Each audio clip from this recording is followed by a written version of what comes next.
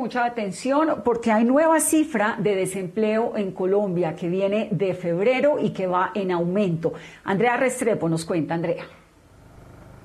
Así es, va en aumento. Pasamos del 11,8% en febrero 2019 al 12,2% en febrero 2020, lo que quiere decir que son aproximadamente 3 millones de personas las desocupadas en el país durante el mes de febrero. Esto motivado principalmente por la falta de oportunidad laboral en las zonas rurales y en los pequeños municipios, afectando principalmente actividades económicas como la agropecuaria y el comercio minoritario, las tiendas de barrio. Aclara el DANE que estas cifras de hoy nada tienen que ver todavía con la coyuntura que se vive en el país por el COVID-19. Esas se conocerán en abril cuando se recoja toda la información de marzo. Y aunque el DANE señala no hace proyecciones, es evidente que se va a reflejar un impacto en la dinámica de algunos sectores que sí venían creciendo en los meses de diciembre y enero, como hoteles, servicios, transporte, construcción, entre otros automáticamente esas son las actividades que van a recibir un golpe muy fuerte en el mes de marzo, como ya lo hemos visto por señales indirectas,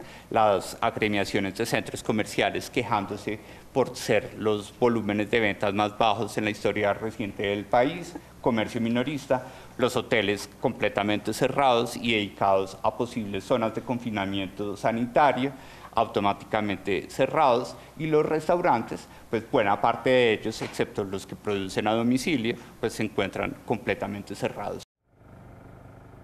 Señala el DANE también que están cambiando la metodología y la forma de hacer las encuestas de los hogares. Esto a propósito de la coyuntura que vive el país con este aislamiento. Serán ahora vía telefónica. Aproximadamente unos 20 mil hogares serán seleccionados como muestra. Ellos primero van a recibir una alerta en voz del director del DANE, luego la llamada de los encuestadores. Son 39 preguntas que no tomarán más de 20 minutos y ojo porque no le van a preguntar ningún dato financiero como números de cuentas ni claves, pero es según el DANE, que colabore y responda a estas preguntas, que se va a mantener esta metodología el tiempo que dure el aislamiento de acuerdo a estas medidas anunciadas por el gobierno.